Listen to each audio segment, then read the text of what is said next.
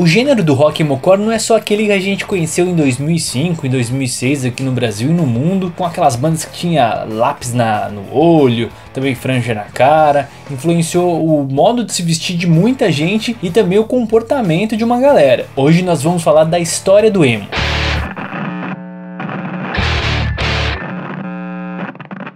O emo que chegou pra gente foi através das bandas Simple Plan, My Chemical Romance, Fall Out Boy, Panic! at the Disco, só que na época meio que rolava um preconceito, dizendo que não era uma música boa, né, que o pessoal do rock não gostava muito não. Mas para quem conhece o gênero só por essas bandas, é bom saber que o emo não é de, não foi só nessa época. O emo já é um estilo antigo. O gênero nasceu nos anos 80 em Washington, nos Estados Unidos, e foi meio que uma reação contra a violência da cena punk hardcore da época, e aí por causa da, da política e tudo mais, então foi meio que um negócio que foi contra ali, a contra a maré, foi daí que nasceu o emo. O Ian McKay, que era o vocalista da banda Minor Threat e Fugazi, foi ele que ajudou a liderar um movimento de criar letras que deixaram de falar da comunidade, mas voltada a falar do individual das pessoas. O emo foi ganhar destaque nos anos 90, que aí foi quando começaram a surgir as bandas como Sunny Day Real Estate,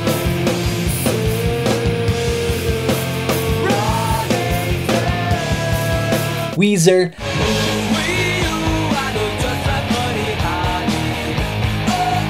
Também uh, o Mineral.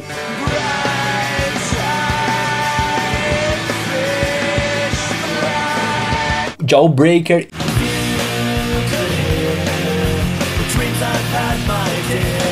Aí começaram a nascer as gravadoras também que ajudaram a pavimentar a cena. Já na época ninguém gostava do rótulo emo. O próprio Ian McKay disse que na época teve uma matéria da revista Thrasher que falou da banda Embrace e de outras bandas de Washington dizendo que o, uh, eles eram emos. E aí esse rótulo não pegou bem entre a galera não. Outros relatos também dizem que no próprio show da, da banda Embrace teve um cara da plateia que gritou emocore para insultar os, os, integrantes da banda. Foi outra outra coisa que o pessoal não gostou. A palavra emocore apareceu no, no dicionário de Oxford em 1992. Outra curiosidade sobre o emo é que no, no olha só, hein, no final dos anos 80, lá no, no comecinho mesmo, uh, o pessoal ia nos shows pra chorar.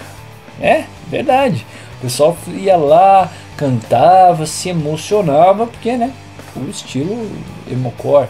Isso em, olha, no final dos anos 80, hein? O emo não era um estilo popular. Na época, quem estava estourado mesmo, assim, para traçar um paralelo, era o grunge. Então por isso que é mais fácil hoje a gente saber de bandas como o Pearl Jam, Nirvana, Soundgarden e não saber basicamente nenhum nome de, de banda emo da época. Jawbreaker, o próprio Sunny Real Estate, Mineral. O emo fazia sucesso, só que era no underground, casas menores, shows menores. E aí o, o, gênero estourado mesmo, que o pessoal conhecia todas as músicas, conhecia bastante as bandas, era o grunge. Uma das bandas de maior sucesso é o Jimmy World, porque eles transitaram da velha guarda emo e até a geração atual.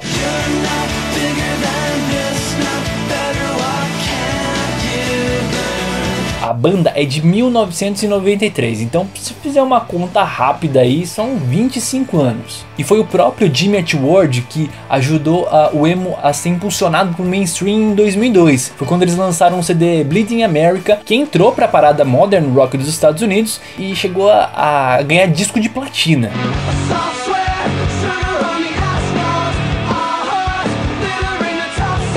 E foi também em 2002 que o Dashboard Confessional lançou a música Screaming Infidelities, que entrou para a parada Alternative Songs também da Billboard.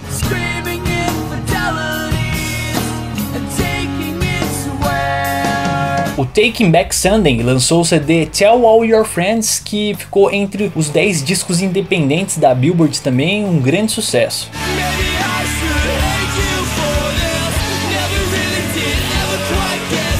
Só que o auge do emo mesmo foi em 2005, quando o My Chemical Romance lançou o CD Three Cheers for Sweet Revenge.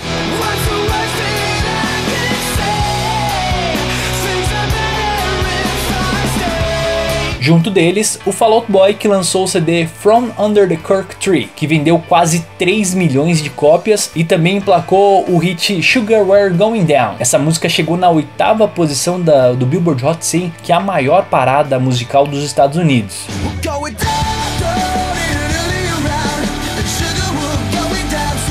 O Panic at the Disco entrou com a música A Right Scenes No Tragedies na sétima posição da mesma parada.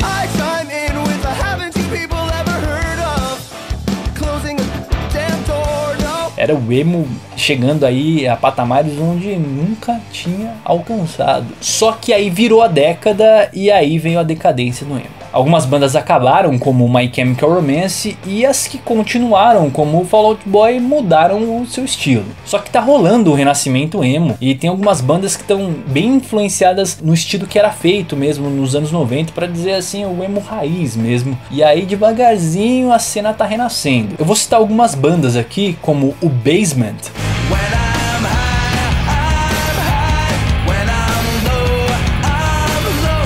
Que é uma banda da Inglaterra que nasceu em 2009, tem três discos lançados e tem uma forte influência aí no, no, no emo dos anos 90, um estilo muito parecido aí com Sunny Day Real Estate, também com Nirvana. Outra banda é o Turnover.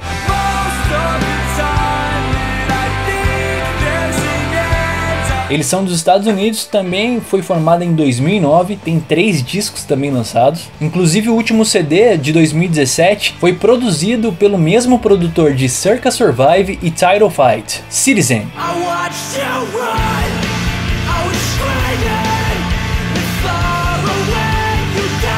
Citizen é avaliado pela crítica aí como um novo grunge, mas eles são sim um novo representante aí dos grandes representantes da, da nova cena emo. Inclusive eles são da, da gravadora Runcover Records, que é a casa do Turnover e também do Basement. E aí a, a, a Runcover virou praticamente aí a, a gravadora dos novos emos. É um selo que tem que ficar de olho se você quer conhecer as novas bandas aí do estilo. E a outra banda é o Movements.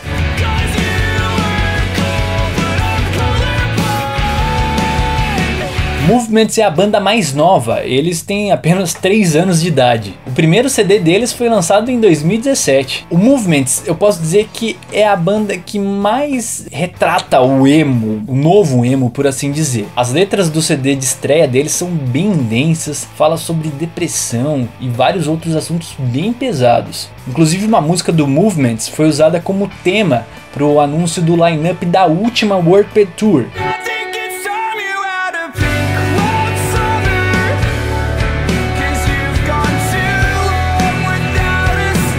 E a Warped Tour, para quem não sabe, é a vitrine das bandas undergrounds que vão aí despontar é, para o sucesso mundial. Então é uma aposta, é uma aposta. O Movements fica de olho que essa é a banda aí que vai despontar. Você vai ver. E esse foi um resumo básico do que é o, o emo de antigamente, o emo do mainstream e o que tá rolando agora de novo. Eu não falei de todas as bandas porque é muita coisa, tem um monte de banda. Aí ia virar um documentário e a, e a ideia não era essa. Se você gostou do vídeo, achou legal o, o conteúdo, aí faz esses negócios que precisa fazer, sabe? Que é compartilhar.